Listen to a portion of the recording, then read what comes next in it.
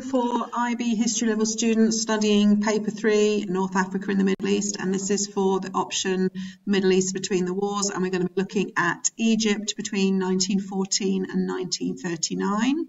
Um, and the, really the aim of this um, PowerPoint is to help you write an essay about Egypt in between the wars and looking at the different circumstances that's going on. So it is going to assume that you've done some reading and some content knowledge as well, but hopefully it will set you up to write some effective topic paragraphs about Egypt during this busy time period. So of course, after the end of the First World War, the Middle East is in complete disarray with the collapse of the Ottoman Empire. Um, three of the countries that are the key players in the Middle East at this time, Turkey, Iran, and Egypt, have been affected in different ways by the First World War. Um, Egypt probably is the most dynamic in terms of that they're actually struggling for independence. Turkey and Iran are doing internal modernization programs, but Egypt firstly really has to remove the massive influence of the British, that huge legacy of colonial imperialism, and of course the British and French ownership of the Suez Canal, which will be a persistent problem for Egypt throughout this time period. World War I has a huge impact on Egypt and it's largely used as a staging post. Of course, for Britain, it's absolutely vital that control of the Suez Canal remains open and that access to India and the Asian colonies of the UK remains paramount for British interests at this time. Um, many Australian soldiers were actually stationed in Egypt. It was believed by the British that um, the climate of Australia better suited them to life in Egypt. And during the war, a number of big events happened that um, shape Egyptian life. Um, clearly, um, Britain moves in to take control of Egypt in a way that humiliates the Egyptians. And during the war, there are economic consequences for ordinary people, as you can see on the slide here. The two books that I'm referring to, ASD students, these are available in the Google Drive folder, and they're both widely available textbooks. Eugene Rogan on his history of the Arabs and Mansfield, his history of the Middle East. So both of them present slightly different ideas and priorities about how World War II impacted Egypt. But ultimately, as you can see from the quote from William Ochsenwald there, the Egyptian public blame the British for everything that goes wrong as a result of the First World War.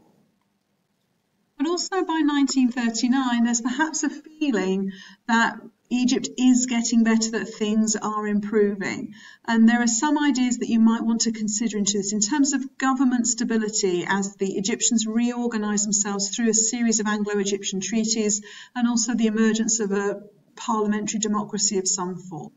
Um, Egypt today, as it was then, is the powerhouse of many Middle Eastern culture when it comes to music, writing, and so on. Demographics, one of the big problems that Egypt will contend with during this time period is the massive and rapid growth in population. The economy, Egypt relies heavily on agrarian output, particularly cotton, and a pretty um, slow and stodgy industrialization process going on.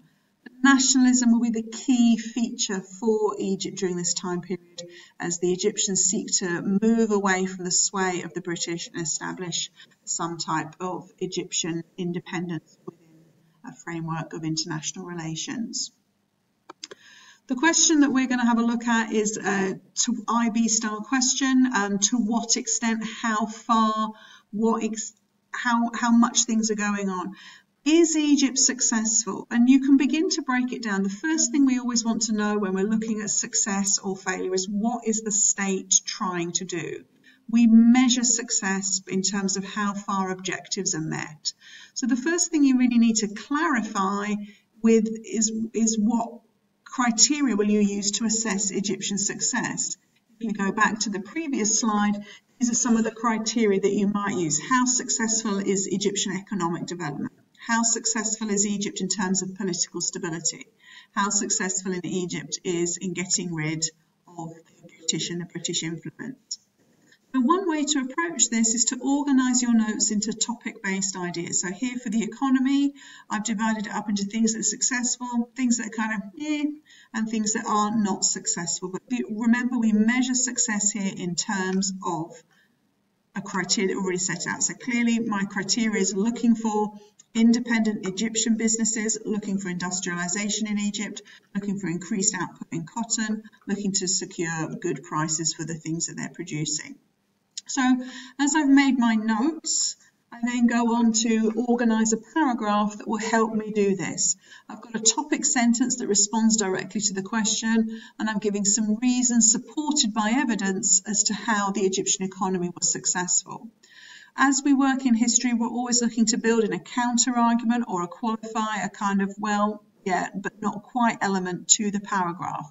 So actually, Overall, I'm going to argue that the Egyptian economy has limited success for two reasons. Their main export, cotton, the, the world markets and that stagnate, but also in terms of industrialization, there really is very little going on in Egypt during this time period. So I've got a topic sentence, some explanation and some reasoning, and also some specific evidence to support my point.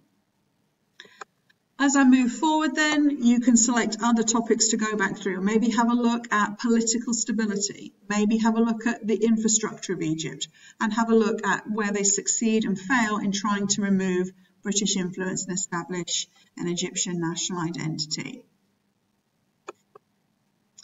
So here's another question that is related to it. And again, it's a the same style of question that to what extent with a quote, looking back on the previous decade. So it's asking you about the same time period and it's asking you again to look at what the Egyptians have achieved and then again how far you agree that Egyptians can be proud of what has happened. As you prepare for a DPSA, it's always worth spending your time thinking about the qualifiers, the arguments, the counter arguments, the terms that you're going to need to define. Clearly, achievements we need to handle. What are you going to consider as achievements? Many Egyptians suggest that there are still some that don't agree. And of course, to what extent that ultimate IB command term asking you to look at a variety of opinions. And remember, there could be some areas where Egypt has been very successful and some areas less so. So in terms of social development, demography, public health, you might argue there has been some successes. Clearly, as I mentioned earlier, perhaps with the economy, not so much.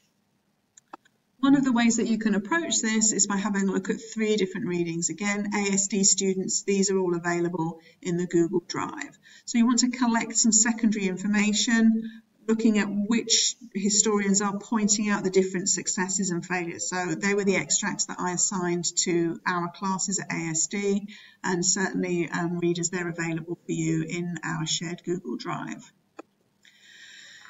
As you organise your notes, there's two ways to approach a question like this. You can go in a chronological order, weighing up the different perspectives as you go. But as you know in IB history, writing a chronological essay can sometimes lend to narrative, and sometimes you end up just writing lists of all the stuff that you know. So you might actually prepare, prefer to start your notes in a different way and just go thematic right from the start. We're looking at it in relation to the question. I've got a column on the event, what actually happened, whether or not it's a source of pride for Egypt, my own opinions and ideas, and in the right-hand column, collecting some ideas from some of the historians and readings that I've been doing. Um, it might be fun to do this with a friend, get together and share your notes, look for areas of agreement and disagreement between the historians, and this can again help you build up your argument and counter argument as you approach.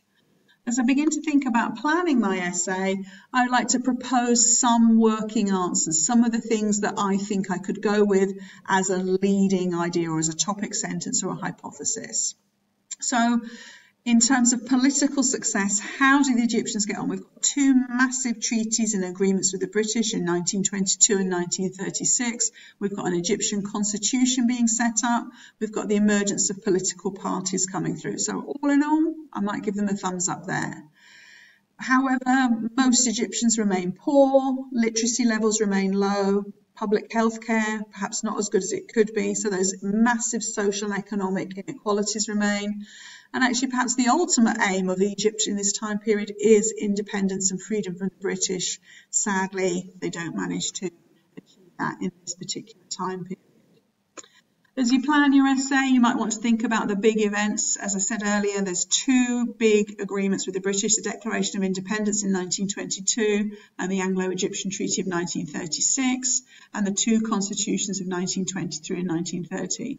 You need to know the material in those things, and they will help you answer any question about Egypt during this time period, whatever the focus may be.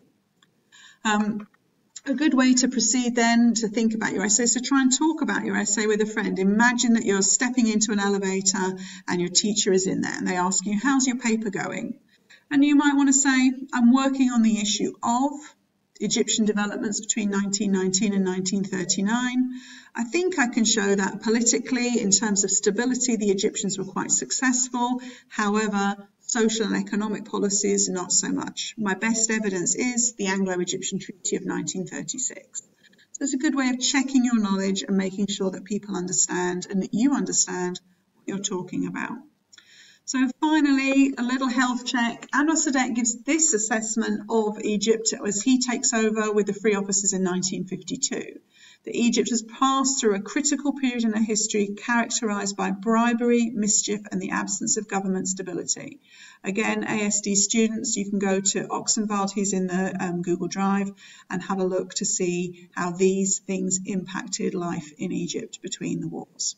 Anyway, so this video should help you prepare for two slightly different essays, give you some ideas of the content and the thesis statements that you could use to answer such a question. Hope that helps. Thanks for watching.